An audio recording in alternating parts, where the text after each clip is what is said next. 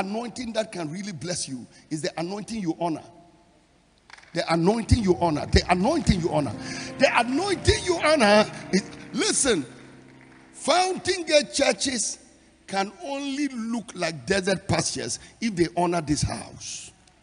If they honor this house and they respect this house and they visit this house and they are part of this house and their destinies are connected to this house, then they will look like this house. You can never look like somebody whose DNA you don't carry.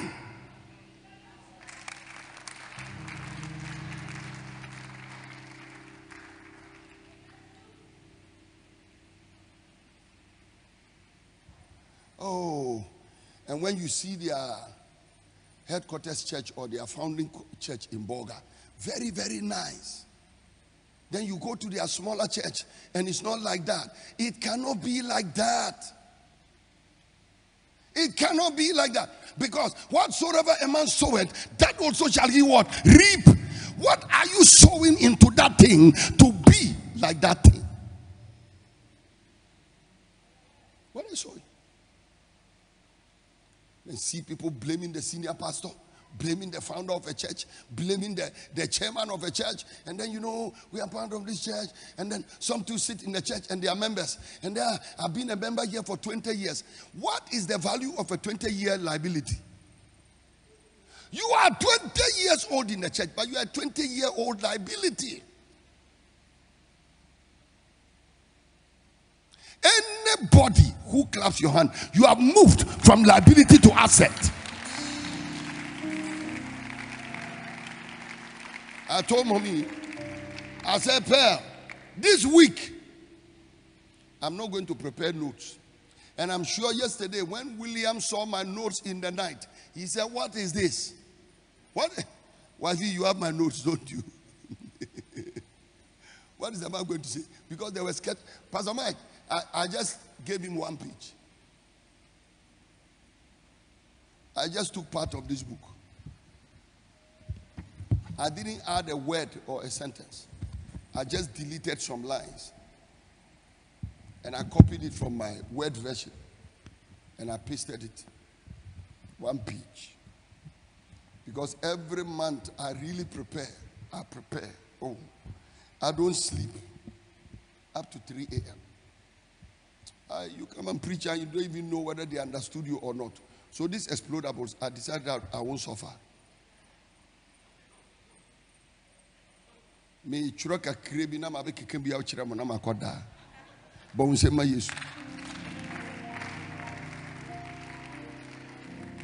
And you know because i'm a professional bomber you see the other topics i need grace i need to put in hard work to preach but when it comes to throwing bomb no, no, no, Jack. Throwing bomb is my profession. I've been throwing bomb from 1980. So as for firing you, it's not difficult for me at all. If I prepare to fire you, I'll kill you. But if I don't prepare, I'll only wound you and you recover. Come on, give a big clap of offering to Jesus. I'll, I'll only inflict some wounds on you and you.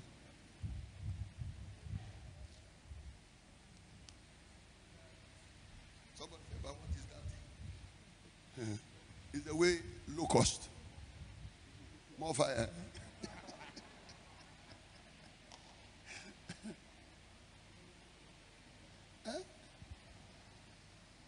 Moses couldn't enter the promised land.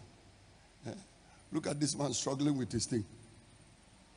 You need some stronger systems to be able to do this broadcast at the level we want it. Okay.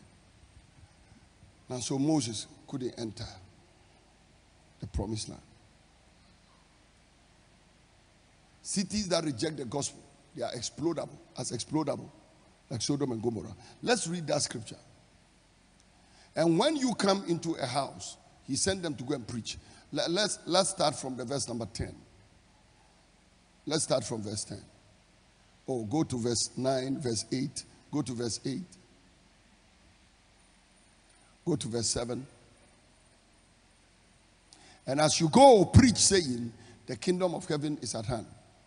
Heal the sick, cleanse lepers, raise the dead, cast out devils. Freely you have received and freely give. This is the explosion. Everybody say, This is the explosion. Heal the sick, cleanse the lepers, raise the dead, cast out devils. Freely you have received, freely give. Verse 9 Provide neither gold nor silver nor brass in your purse. And you know, this provide neither silver nor gold nor brass in your purse. That is the place in the ministry. I'm telling you that by the grace of God, at my age now, I'm believing God to enter. At my age now, I'm believing God that I will not go about preaching and I need plenty of money. And then when I'm going, a church has to worry about my plane ticket, and a church has to worry about my hotel, and a church has to worry about this and that. No, I'm believing God that this time when I'm going, it's God who is sending me, and I'll just pick up my bag and go. That is what I want to do. That's what I want to do. So when the pastor says, When are you coming? I say, Just wait for me. At the time of your program, I'll be there. Where are you going to stay? Please, just relax. When I must be there, I will be there. If it's a town I don't know, I'll find a way. These days with, with Google, you can Google everything. I can Google where I can find my hotel and I'll stay close to the church and then I'll go and preach for the pastor. And then just preach, sit in the plane and then come back home and so on and so forth. I want to enjoy that life. That you provide neither gold nor silver nor brass in your purse. Then, verse number 10, it says, Nor scrip for your journey, neither two coats, neither shoes, nor yet staves, for the workman is worthy of his meat. Verse number 12.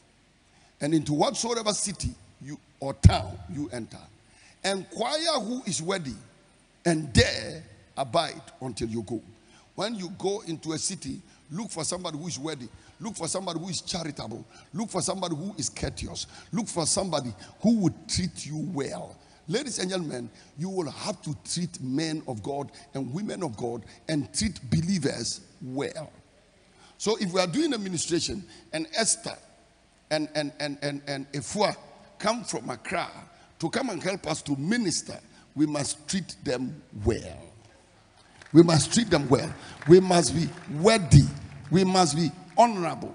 So if they receive you, if you go into any town, look for who is worthy and stay there until you go from thence. Then verse number 12 says, And when you come into the house, salute it. When you come to the house, salute the house. And if the house is worthy, let your peace come upon it. Let your peace. So when the Muslims enter a place, they say, Assalamu alaikum. Then they say, Alaikum salam. Peace be to this house. Assalamu alaikum. Peace be to this house. That means the man of God or the woman of God can determine your level of peace. Listen, if they say you will be in trouble, you will see trouble. If you want to be a happy church, make sure your pastor is happy. If you want to be a happy husband, make sure your wife is happy. If you want to be a happy wife, make sure your wife, your husband, is happy. What I mean is that your level of peace and happiness always depends on somebody's happiness. Now, God has sent a messenger into your life. God has sent somebody with the gospel into your life. And God is saying, when that person, when you go, let your peace stay with them. Peace. They are carriers of peace. I know people say, well, you know, all these preachers, they are claiming to be this and that, and all these believers. It's not just only the preachers, but I'm telling you, people, even those of us who are just, let me call it, ordinary Christians, we carry a blessing. We determine the amount of peace that can be in a place. You know, anytime we are blessed, we are, we are going through something like when we are sitting in a plane and we are going somewhere, I look at mommy, I hold her hand, I say, Thank you, thank you very much. And I say, All these blessings, they came because of you. The blessing of sitting in an aeroplane in my house, it came from my house, my wife, not from me. And that's because my wife, before we married, or before we met in school, she has sat in plane before. But me, before we met in school, My highest means of transport was a donkey. And even the donkey, they only put me on it once. And when the don- donkey jumped, nobody told me not to climb it again. But the woman came and she brought peace, she brought blessing. Every blessing you carry is because somebody brought it. Jesus said, put it this way, said, You are the light of the world and you are the salt of the earth. So any light you are seeing is because of the presence of somebody, and any salt you are tasting is because of the presence of somebody. You, you know what, people? I, I keep telling you in, in this church all the time. And those of you that are watching online, hear me what I've been telling the church here. That whether Bolgatanga likes it or not, our presence has added something to the Upper East region. You listen, no matter how you deny it, it's a reality. It's a reality.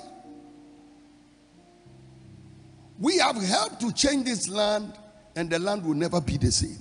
And by the grace of God, more is coming. In the realm of the spirit, we are winning battles. We are winning battles. And this week, principalities and powers will come down, they will explode, they will be destroyed. Our prayer is working something. The word we preach is light, and we ourselves, our lives are light. That is why we provoke them like that.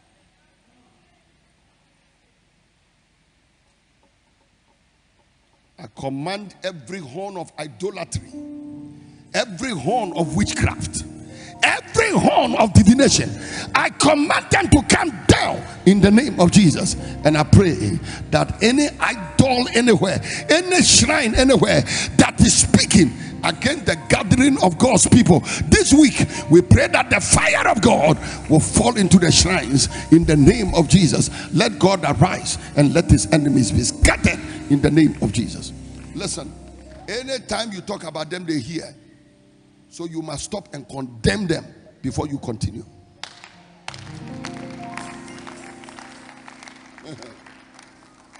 Never mention the demo, the, the devil or demons without stopping to attack it. Because as soon as you mention them, they react. Mayagadoski mihata. I tread on serpents and scorpions, and over all the power of the enemy, nothing shall by any means hurt any of us. Come on, clap your hands and pray. Clap your hands and praise Him. Give Him glory. Ah, now look at this.